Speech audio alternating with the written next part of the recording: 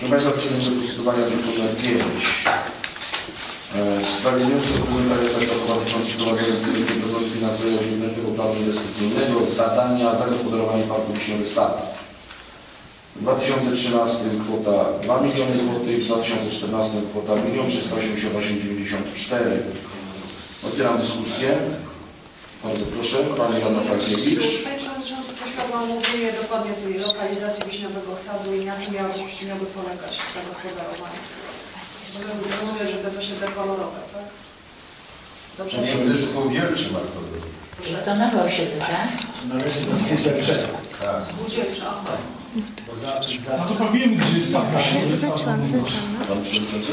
No, no, no, my od y, jeszcze za czasów 10 lat. Tak, staramy się o to, żeby przecież pamięta, kiedy kiedy powstał y, pan Wiśniewska. W związku z tym no, jest to miejsce takie, że y, od lat wymaga nie tylko remontu, ale, ale wymiany dla infrastruktury, jak jest oświetlenie, z chodnikami, z, nie tylko z ławkami, z piaskownicami i tak dalej, i tak dalej. I przeznaczone zostało, jak Pan Przewodniczący gdzieś przy- wymienił, około 3 miliony złotych. My też czekamy kolejce, ale nie wierzę w takie jakieś pesymistyczne tu prognozy, jak wszyscy mówią, że to się nie sprawdzi, że to się nie sprawdzi. No tak to rozumiem wszyscy ręce, siedźmy, nic nie robimy, nie gadajmy o niczym, nie wnioskujmy, nie prognozujmy, no to nic nie będzie. No, trzeba być jakimś trochę optymistą, że wreszcie te pieniądze w tym budżecie się znajdą, takie czy inne. Może, może nie takie, jakbyśmy chcieli, ale, ale na pewno jakieś pieniądze są. Dziękuję. Ja uzupełnieniu y, powiem, na czym polega inwestycja. Jest to teren, który jest pomiędzy osiedlem kolorowym i osiedlem spółdzielczym. E, W zakresie tego terenu zielonego ma być przekształcenie i modernizacja dotycząca alejek parkowych, oświetlenia, jak i również, proszę Państwa, budowy e, urządzeń zabawowych dla e, dzieci w zakresie tego, tego parku. Bardzo proszę. Ja chciałam drugi. Tak, dziękuję bardzo. Ja mam takie wątpliwości co do tego wiśniowego sadu. Y, Ja znam to miejsce oczywiście. Znam też osiedle kolorowe i znam osiedle spółdzielcze i powiem tak, y, osiedle kolorowe y, ma bardzo dobrą opinię w Krakowie. I jest osiedlem zadbanym, jest osiedlem, za- zauważyłam, dość doinwestowywany.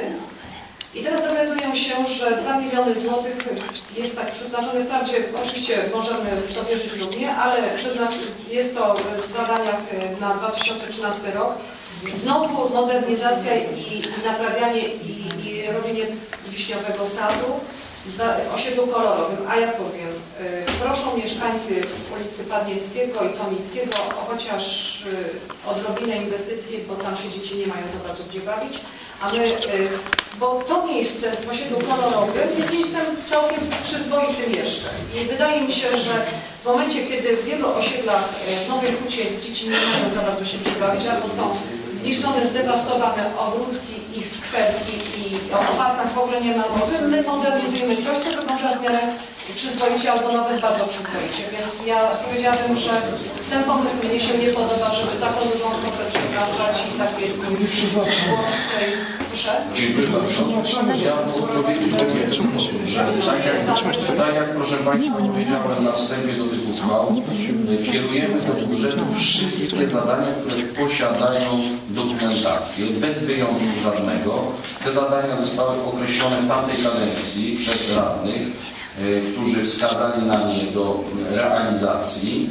Dziś jesteśmy tylko i wyłącznie spadkobiercami tychże zadań, które są e, zapisane w umowie społecznej. Tak jak wspomniał tutaj Pan Przewodniczący, te zadania, proszę Państwa, e, są realizowane, jeżeli chodzi o modernizację Parku Wiśniowy Sad, już od 10 lat, powolutku, tak e, bardzo, bardzo e, opieszale, ale jakieś tam zmiany są. Bardzo się cieszę, że Pani Radna te zmiany zauważyła w tym, w tym zakresie, ale one nie obejmują przygotowywanego projektu, który jest opisany w zakresie zadania, które ma być zadaniem e, rekompensacyjnym e, odnośnie deklaracji stron umowy społecznej. Jeżeli zaś chodzi o obszar naszej dzielnicy przy ulicy Padniewskiego, to w tym roku przy tej ulicy mają być zrealizowane dwa zadania. Jedno zadanie to jest y, Smoczy e, który będzie w tamtym rejonie zlokalizowany i dostępny dla wszystkich mieszkańców naszej, naszej dzielnicy. A drugie zadanie, proszę Państwa, a drugie zadanie, proszę Państwa, e, to zadanie e, związane z budową w tamtym rejonie również wybiegu dla psów, które ma wska- wskazaną e, lokalizację. E, To są te dwa zadania, które dotyczą realizacji zadań na tamtym obszarze przy ulicy Padniewskiego. E, Jedno z tych zadań, jak Państwo wiecie, jest zadanie e, podobnym do zagospodarowania parku Wiśniowy Sad. Oczywiście kwota, która jest zaproponowana na e, wykonanie spoczego sklepu, to jest kwota bodajże miliona złotych, która jest zapisana na każdy z tych sklepów w Jest to obszar e, bardzo ładnie zagospodarowany z wizualizacją, które ja widziałem. Tu również e, mogę powiedzieć, że e, ten obszar ma być dostępny nie tylko i wyłącznie dla dzieci, ale również dla mm,